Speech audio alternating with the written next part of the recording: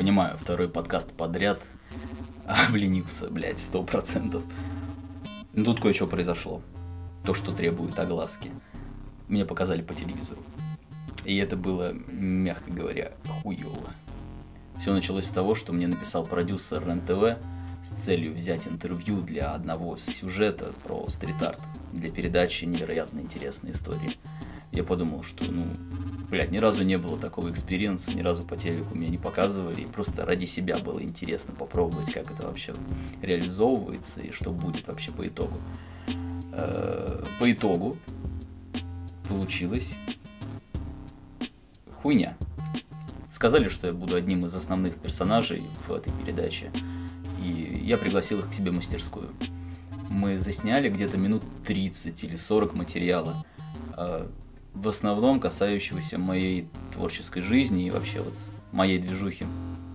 Я постарался максимально дотошно разжевать всю вообще вот эту стрит-арт-культуру и непосредственно то, чем я занимаюсь.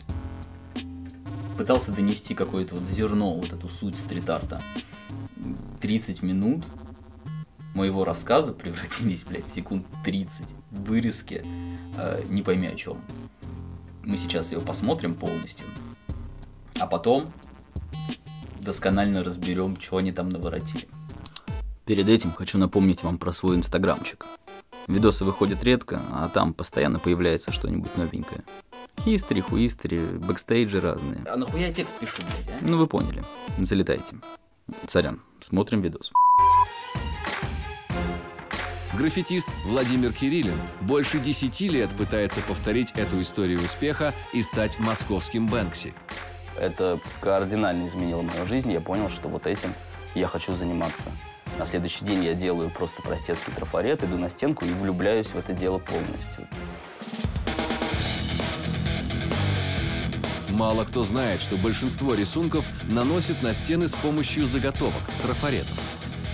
Возможно, именно поэтому сами создатели граффити называют себя не художниками, а писателями. Вот так выглядит э, обычный трафарет, который я использую для улицы. Если бы я это делал от руки, вот это все изображение, то это заняло, ну, заняло бы очень много времени. А здесь с помощью трафарета я максимально быстро наношу изображение. Если мне нужен второй слой, я беру, накладываю какие-то дополнительные элементы, делаю второй, все. То есть это довольно быстро. Так, а теперь давайте с самого начала и по порядку. Граффитист Владимир Кириллин больше 10 лет пытается повторить эту историю успеха и стать московским Бэнкси. Схуяли они решили, что я пытаюсь повторить историю Бэнкси. Что у нас теперь получается, что каждый, кто рисует трафареты, э, пытаются пародировать Бэнкси? Плюс, блядь, ну выход через сувенирную лавку вышел 10 лет назад. А вот это клише про Бэнкси, оно до сих пор осталось. Ну, не знаю. Пиздец. Это кардинально изменило мою жизнь. Я понял, что вот этим я хочу заниматься. На следующий день я делаю просто простецкий трафарет, иду на стенку и влюбляюсь в это дело полностью. Тут я как раз говорю про этот фильм. Ну, вот из передачи ведь вообще непонятно, просто вырвана из контекста моя фраза. Э, а когда люди приехали, да, вот кто снимает операторский состав, ну, съемочный состав, мне показались адекватными людьми, профессионалами даже в какой-то степени. Но, видимо, что материал, который потом в дальнейшем попал на рабочий стол к монтажерам или к режиссерам, редакторам, я не знаю, кто там этим занимался, а, его просто исковеркали, и получается, что ну, там реально было интересное интервью, я много херни наговорил, которое вообще ни разу не говорил никому. И это все вот как бы пропало. Не знаю, можно, конечно, попросить у них исходники и самому как-то замонтировать. Че? Зачем ты говоришь про свою интервью херни наговорил? Ну, я там херни наговорил. Ну, звучит хуево, что хуйню наговорил, а ты же наговорил, ну, толковый тему. А ты откуда знаешь? Мало кто знает, что большинство рисунков наносят на стены с помощью заготовок, трафаретов. Возможно, именно поэтому сами создатели граффити называют себя не художниками, а писателями. Вообще граффити в классическом своем исполнении вообще не предусматривает использование трафаретов. Откуда это все? Во-вторых, писатели.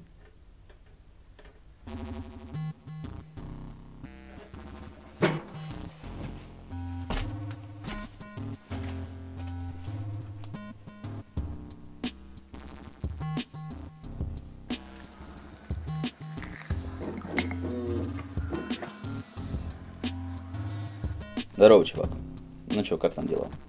Дела безупречно. Снимаю ролики каждый день, монтирую безостановочно прям. Вообще, меня не остановить. Заказы отдаю каждому прям вообще без задержек. Последний заказ с августа вот отдал.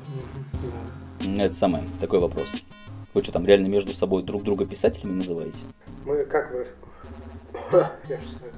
Не, ну слушай, логика так-то есть в том, что писатель, не писатель. Просто мы так не говорим. Мы как обычно говорим?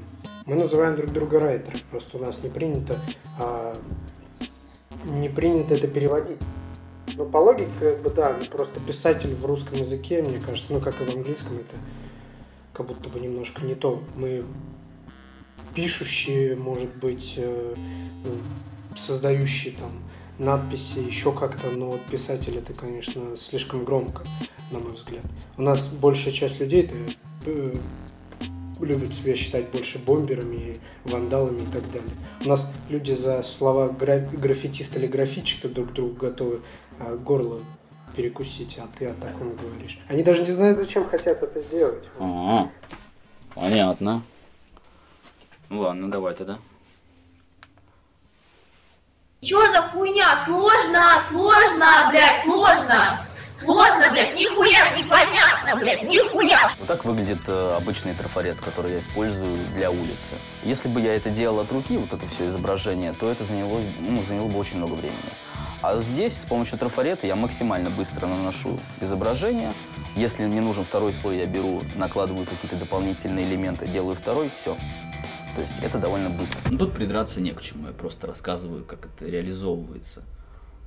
Ну вот, вот такой вот у меня опыт с телевидением. Я знал, в принципе, об этом. Я уже смотрел на некоторые похожие ситуации у коллег, и никто не остался в восторге, и даже приблизительно хотя бы немножечко в положительном каком-то... Блять, как это? Когда осадок хороший такой остается от, это, этого, от участия в чем-то. Впечатление, точно.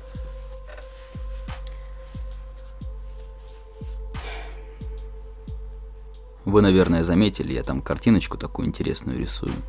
Она уже готова, и заценить ее можно у меня в группе ВКонтакте. С ней я замутил там небольшой интерактив, грубо говоря, ее можно выиграть. Ссылка на пост в описании. Также в описании ссылка на полную передачу, вот РНТВшную на эту. Ну, в общем, такие дела. Что думаете? Го в комментарии.